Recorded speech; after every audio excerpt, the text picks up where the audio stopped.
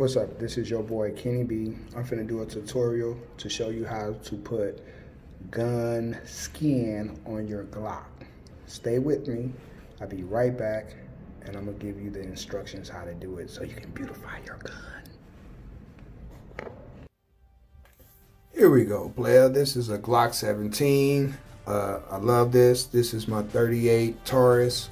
Uh, beautiful gun, hard hitting, both of them. Recoils, perfect. But before we put the skin on, we must we must clean the gun first. You know what I'm saying? Uh, this is the skin that I'm using. I don't endorse these people. I don't know them like that. This is the first time using. So gun skin. Gun skins is somewhere you can buy the decals and put on the guns or whatever. So what I'm gonna do is I'm gonna clean my barrel first. So this is what how I clean my barrel. I get some gun cleaner and I make sure that I wipe it down really, really good so it can, you know, get all the extra gunpowder and all that other stuff. Uh, then I go and get a brush. This is a kit I got from my anniversary or whatever.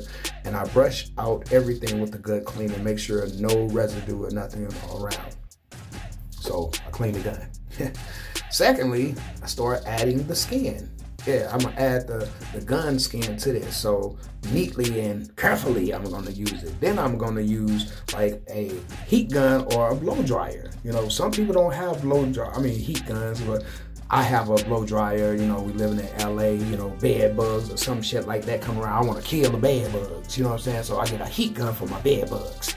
But uh, as I'm folding and pulling uh, as it's sticking, I'm, I'm also squeezing it with a cord or something to get the edges, to get the, the ridges and stuff of the slide to be uh, almost looking like it's, it's one piece, right?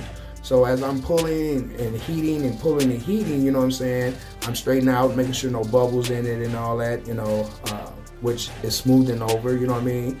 And as it's laying on both sides, as you can see, uh, no wrinkles, nothing. I'm using one hand pretty much. So now I have to use a, a X-Acto knife or some type of razor, you know what I'm saying, to make sure you get the edges is uh, clean and you know the excess extra shit, you know what I'm saying, that you don't need because uh, that adhesive will make your gun kind of you know stick when you copy it back or whatever. So don't forget to make sure you get into those little edges and stuff throughout the gun or whatever. But like I said, make sure you have like a towel to press down, you know, so it ain't so much of it's hot or anything. You don't want to get it real, real hot or nothing. You just want it to warm up, to loosen up so you can be able to uh, make it structure the shape or whatever indication of the gun. And as you can see, you got make sure you the dispensary part where the shells come out, you gotta cut that out too. You don't want no access on that because that'll make your gun kind of jam up a little bit too. So mm-hmm. now we're in the end stages of this and uh, I'm cutting out the sights. The sights is kind of hard because it's lifting up and it don't want to stick. So once you cut it out, then hit it with the heat gun and come back, it's gonna stick. Uh, better than what it was when it's lifting up, you know what I'm saying, and not cut yet. So, uh, but other than that, it was an easy job to do, man. Uh, I actually went and did uh, my 38 and I did the the handprints of that. But you see how nice that look? That is so nice. Oh my God, it's so beautiful. So now this is my son's uh, BB gun. uh, look at that.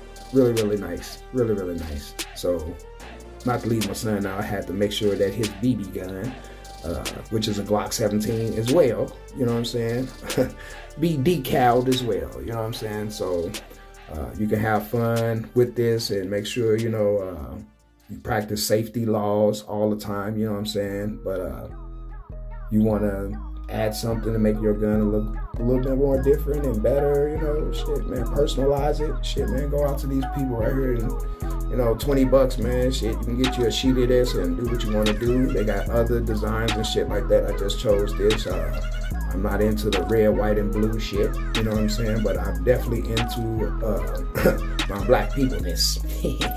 Love y'all, man. I'm out. Beats by. Brought to you by